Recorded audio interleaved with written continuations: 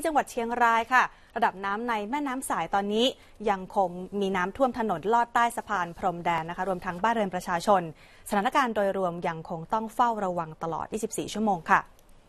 โดยหลังจากที่เมื่อช่วงกลางดึกที่ผ่านมานะคะ ระดับน้ำในแม่น้ำสายได้เพิ่มสูงขึ้น ล้นตลิ่งเข้าท่วมร้านค้า ร้านอาหาร แล้วก็บ้านเรือนบริเวณริมแม่น้ำสถานการณ์ล่าสุดเช้าวันนี้ ระดับน้ำยังคงทรงตัวอยู่ที่ระดับ 3 เมตร 95 เซนติเมตร โดยยังคงท่วมถนนลอดใต้สะพานพรมแดน รถทุกชนิดไม่สามารถผ่านไปมาได้ค่ะ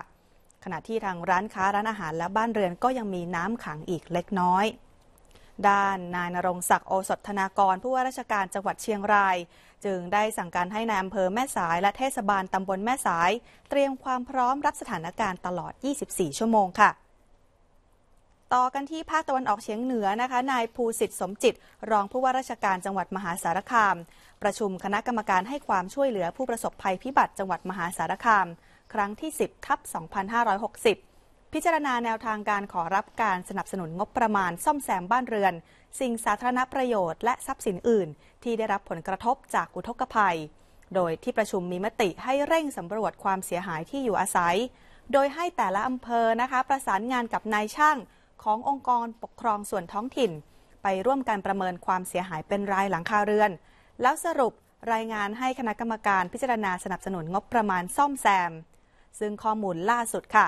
มีบ้านพักอาศัยเสียหายทั้งหลังจำนวนหนึ่งหลังในอำเภอโกสุมพิสัย และมีเจ็ดหลังในอำเภอเมืองมหาสารคามที่ได้รับความเสียหายบางส่วน มาดูภาพรวมนะคะ สถานการณ์อุทกภัยล่าสุด มีสองอำเภอได้รับผลกระทบ ได้แก่อำเภอโกสุมพิสัย และอำเภอเมืองมหาสารคาม คาดว่ามีพื้นที่การเกษตรเสียหาย 585,472 ไร่ และมีรายงานผู้เสียชีวิตจากอุทกภัยครั้งนี้ 4 คนค่ะปิดท้ายกันที่สถานการณ์น้ำในแม่น้ำโขงที่บริเวณจุดวัดน้ำบ้านแสนเจริญตำบลวิสิตอำเภอเมืองบึงการ เช้าวันนี้นะคะ ระดับน้ำเริ่มลดลงค่ะ วัดได้ที่ระดับ 8 เมตร 80 เซนติเมตร ขณะที่น้ำในแม่น้ำสงครามที่บริเวณบ้านสันติสุขหมู่ที่ 5 ตำบลดอนย่านางอำเภอพรเจริญจังหวัดบึงการ ระดับน้ำก็ลดลงเช่นกันนะคะ โดยสูงกว่าตลิ่งเพียง 80 เซนติเมตรประกอบกับช่วง 2-3 วันที่ผ่านมาไม่มีฝนตกลงมา ก็ทำให้ระดับน้ำคงที่แล้วก็ลดลง ยังคงมีเพียงถนนบางจุดเท่านั้น ที่ยังมีน้ำท่วมขังอยู่ คาดว่าภายในอีก 1-2 สัปดาห์ก็จะกลับเข้าสู่ภาวะปกติค่ะ